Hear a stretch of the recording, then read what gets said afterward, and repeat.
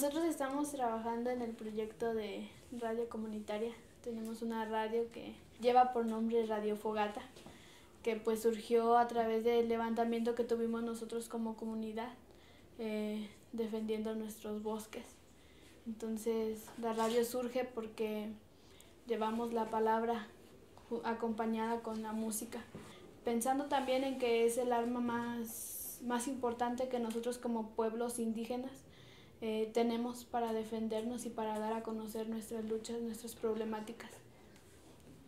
Pues yo también participo en, en radio y en TV comunitaria, eh, pues más que nada pues para sacarles a los chavos de la cabeza eso de los narcocorridos. Pues como decíamos, difundimos ahí, queremos que, mm, o sea, la lucha pues contra el gobierno, porque el pinche gobierno es un patán agarra compas, sí, estudiantes y güeyes que venden drogas, que hacen daño a, a nosotros mismos, que el pinche gobierno sabe, sabe que eso está pasando y él también apoya a ellos. Eso es lo que tratamos de, de pasar en la radio, que la gente se dé cuenta de todo lo que pasa. Nuestros jóvenes en todo este proceso de lucha que nosotros vivimos, eh, la participación fue, fue bastante primero iniciando con un grupo de jóvenes que se hizo el día 27 de abril del 2011, a los 15 días de nuestro levantamiento, el grupo llamado Jóvenes Unidos por Cherán, en donde más de 200 jóvenes participaban en actividades hacia la comunidad, que era como el organizar las marchas, organizar, eh, ir a llevar este, información de lo que había.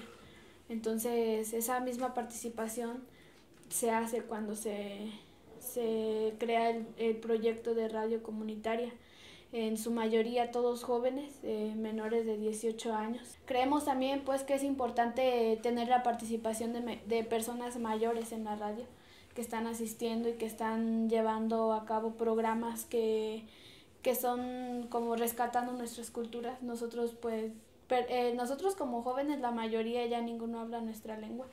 Entonces algunos de los programas tratan de rescatarla, ¿no? De todo, de informar como qué es lo que se está haciendo en las escuelas para, para nosotros tener nuestra identidad y no perderla.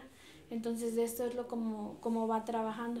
Como la radio se hizo con ayuda de muchos colectivos, de muchas personas que, que nos apoyaron, pues también salió el proyecto de telecomunitaria, en la cual eh, también los los principales impulsores pues son jóvenes y son personas que, que les interesa qué es lo que está pasando en nuestra comunidad. Con los chavos es pues, un animote levantar la tele, la verdad. Un orgullo porque aparte de que ya teníamos la, la radio, luego llegó el proyecto de la tele, ¿no? Y pues empezaron las transmisiones, empezaron a hacer cápsulas cortas, padres, así, contra el gobierno. Eh, una cápsula que son muy padres, Nepomuceno y Pancracia, donde esos personajes, Nepomuceno, hay una cápsula donde dice Nepomuceno, oye, es Pancracia, a mí los partidos a mí ya me llegaron a comprar, a cambio que me dan, me dan la dispensa y quieren mi credencial. Y me dice Pancracia, ¿no? No, pues mira, este, tú, Nepomuceno, mejor ven a la asamblea, aquí en la asamblea tomamos en cuenta las opiniones de todas las personas que participan y no andamos comprando los votos. Y tratamos de dar ese tipo de mensajes a través de la tele para ver si así la gente que está apoyando, ah, no sé, esos partidos, mm, pues, este, ya, o sea, ya cambien de opinión, ya que nosotros lo que queremos es limpiar el cerebro.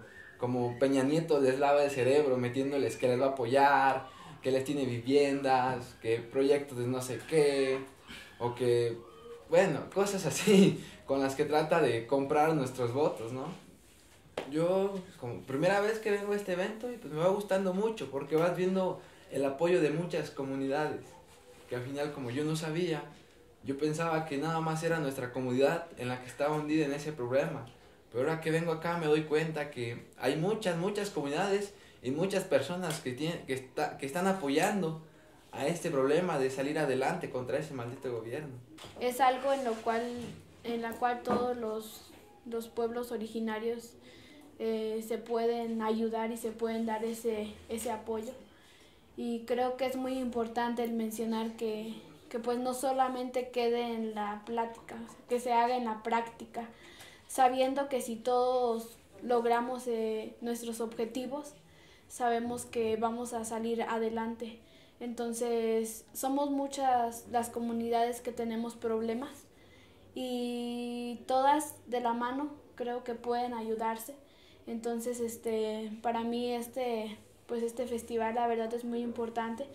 Es un honor haber asistido a esas comunidades que, que te enseñan que hay una alternativa de vida diferente y que te dan una esperanza de, y te dan ese aliento de seguir luchando para tú hacerlo en tu comunidad.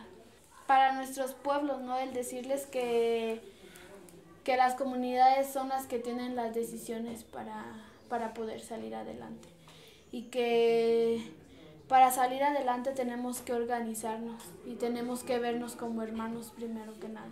Y que sabemos que no, no va a ser fácil, es difícil, pero una vez que se obtiene es lo mejor que se pueda disfrutar, ¿no? Y saber que también una vez que lo consigan, no solamente va a ser eso de conseguirlo, o sea, también sigue el, un paso atrás que es el mantenerlo.